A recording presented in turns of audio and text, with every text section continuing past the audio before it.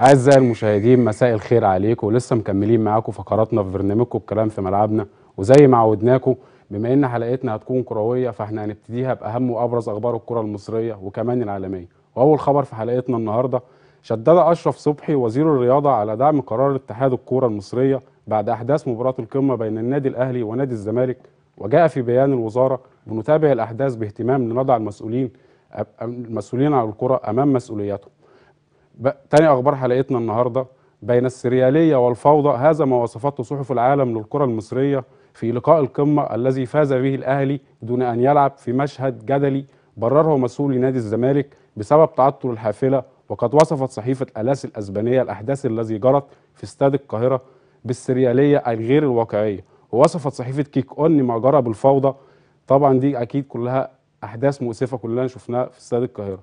تالت أخبار حلقتنا النهارده دولة الكويت بتعلن عن إيقاف النشاط الرياضي بسبب فيروس كورونا في دولة الكويت لمدة أسبوعين.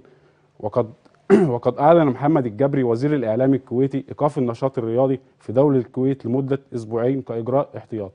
ومن ضمن أبرز أخبارنا العالمية اللي معانا النهارده فوز جديد لوست بروميتش بمشاركة لاعبنا المصري أحمد حجازي بيقربه من الدوري الإنجليزي مرة أخرى وقد خاض حجازي المباراة كاملة حتى نهايتها ورفع وست بروميتش رصيده ل 69 نقطة ليتصدر ترتيب الدور ليتصدر ترتيب دور الدرجة الثانية بإنجلترا. من أبرز أخبار حلقتنا العالمية النهارده بايرن ميونخ بيدمر النادي اللندني تشيلسي بثلاثية واحتل ملعب ستانفورد ستانفورد بريدج في ذهاب دور ال 16 من دوري أبطال أوروبا. طبعا من ضمن أبرز أخبار حلقتنا النهارده تعادل تعادل نادي برشلونة الأسباني أمام مضيفه نابولي الإيطالي بهدف لكل طرف على ملعب سان باولو في ذهاب دور ال 16 من ضمن أبرز أخبار حلقتنا العالمية أيضا إصابة أربع مشجعين لنادي فالنسيا الأسباني بفيروس كورونا بعد مباراة أتلانتا وفالنسيا في ذهاب دور ال 16 من الدوري الأوروبي.